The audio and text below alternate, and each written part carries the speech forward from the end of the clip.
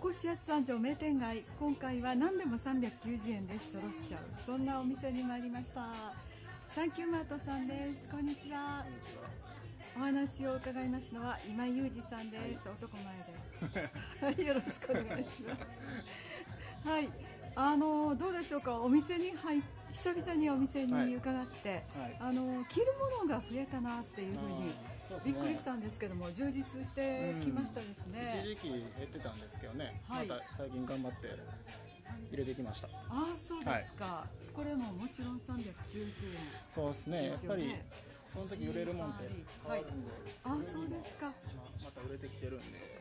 古着が。はい、はい、古着大体置いてあるのはユースと古着なんですか？ここ古着なんで、まあ、こういうやつとか、まあその時によって全然もう商品をしちゃうんですよちょっとこういう T シャツもあったりとか、はい、まあ大まかには分けてるんですけどいろいろそうですか。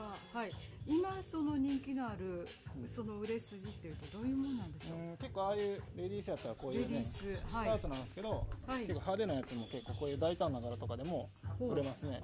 ああそうなんですか。こういうちょっとなんていうか、まあ、ちょっとロングで、そうですね。でちょっとなんか懐かしいっていうか。古臭いって言ったらあれですけど。最近これ流行ってるんですよ。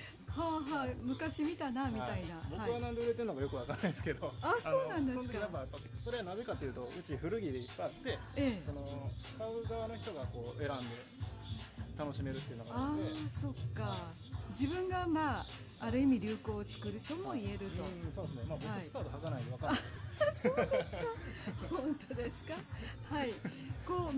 なんかはどうなんでしょうあのまあレディース結構充実してますけど、ね、あいろいろありますねこれはここレディースなんですけどね、はい、メンズもあっちにあるんですそうですか、メンズは最近ああいうはいジーパンをカット、ああいうのが売れてるんですああそうですか。はい。は結構最近ね、ショートパンツ多いんですよ。そうですよね。あの大胆に足を出して歩いてはる男性が多いですね。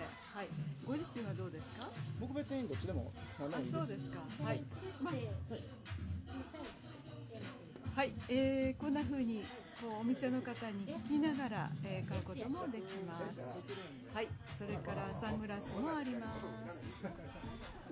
はい、えー、まあ何でも390円で小物もあるし、それから履くものもあるしというそういう感じですけれども、こうお店の方と今何が面白いですか？みたいなこと聞きながら買い物するのもいいかもしれませんね。そうですね。はい、まあ聞いてもらったら。